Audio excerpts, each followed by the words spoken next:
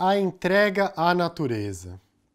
O viver segundo a natureza dos estoicos e de Rousseau.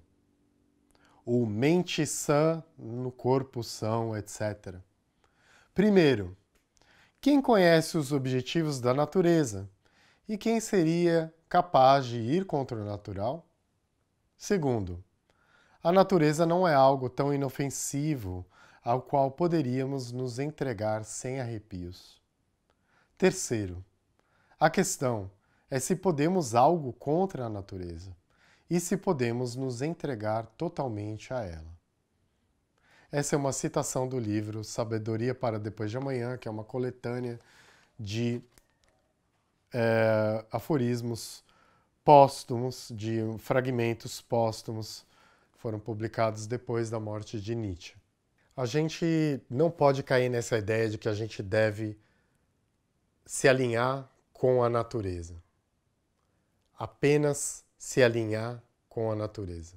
Se fosse fácil assim, a gente resolveria, por exemplo, o nosso, todos os nossos problemas dessa forma. É, é algo que vários pensadores na história da humanidade colocaram. Basta você entender a natureza, se alinhar com ela e magicamente seus problemas todos estão resolvidos.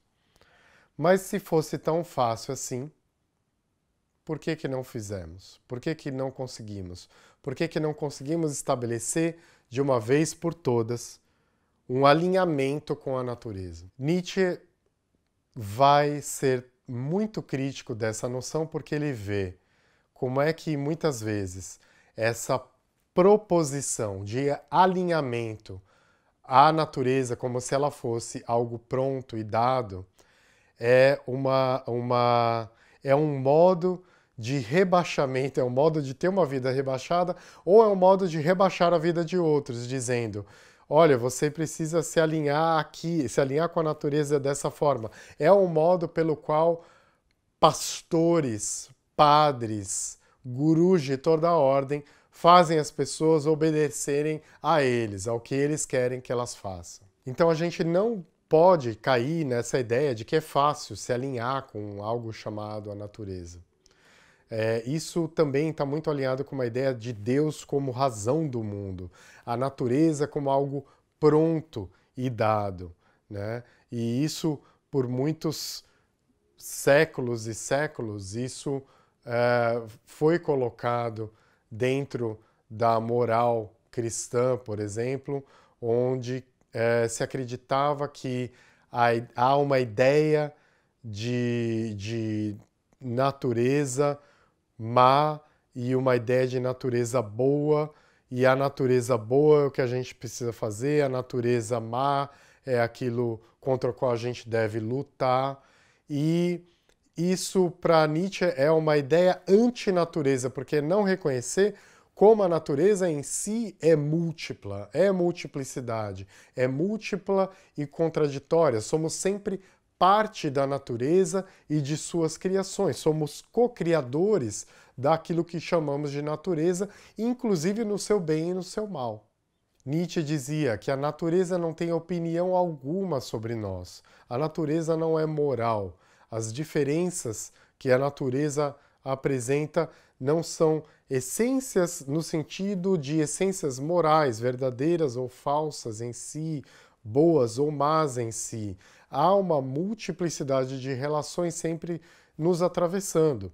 E então, talvez deveríamos falar em natureza no plural, na, as nossas naturezas, nossas forças que nos atravessam, e não numa, numa natureza enquanto uma singularidade uh, que devemos expressá-la como bem ou como mal.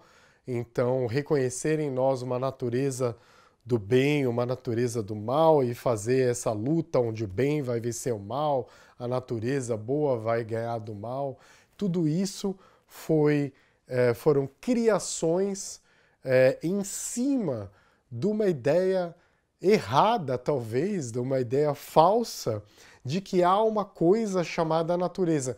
Eu já falei aqui nos, nos vídeos, é, como antropólogo que sou, que estudo outras culturas, como a grande maioria das culturas humanas na história não tem, não, não teve necessidade de criar uma ideia de natureza, não, não teve a necessidade é, ou não teve a, a, a, assim a, brutalidade consigo para ter que criar uma ideia de que existe algo chamado natureza que está assim separada da vida, da vida como nós, nós a temos enquanto vida cultural ou, ou espiritual e tudo.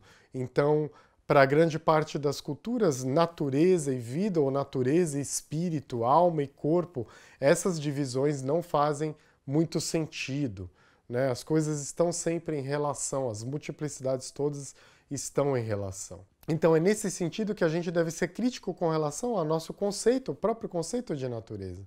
O quão fraco ele é, o quão, o quão pouco ele, ele nos diz, porque ele foi criado já dentro de uma cultura que, que ou quer regular condutas através dessa, dessa visão de natureza como algo com o qual nós devemos nos alinhar, então, regular a uma ideia de verdade universal, válida para todos, ou uh, a ideia de que natureza é algo contra a qual a gente luta, é o mal, com, é algo que a gente domina, então é algo que só vai ser é, é, lutado contra, nós vamos lutar contra. Então, todas essas visões não, uh, nenhuma delas é neutra, todas elas são criadas dentro de relações uh, de poder, relações de discurso, elas só existem dessa forma. O conceito de natureza só existe dentro de relações muito específicas culturais